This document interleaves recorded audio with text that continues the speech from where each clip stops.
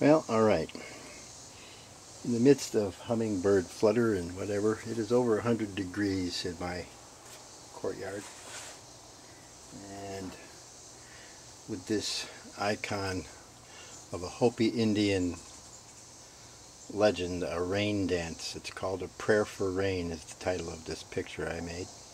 And I'm using it as the appropriate icon for a couple of rain poems for a possible howl. It goes like this. We'll start with acid rain. We stand or sit in awe of the fast-paced world we witness with jaw-dropped horror on occasions of news in the prime time in the time of our lives. We have always been observers of the times of our lives and others in one fashion or another as we progressed through seasons of the years of our span. Our innocence has long ago flown the coop or has been slain by the pain of our perception of exponentially profound disasters of population growth as reality.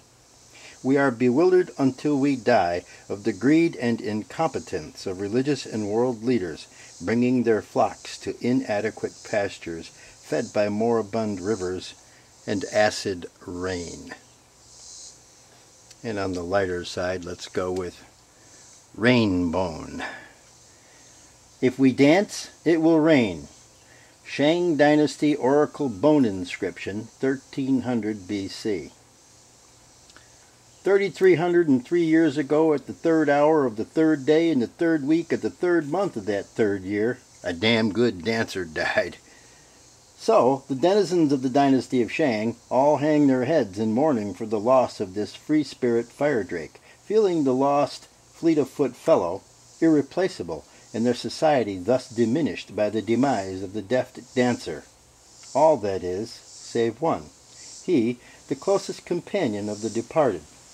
So close, in fact, he laid claim to the remains of the deceased dervish, for want of a better name, to render to the friend's flesh from his bones.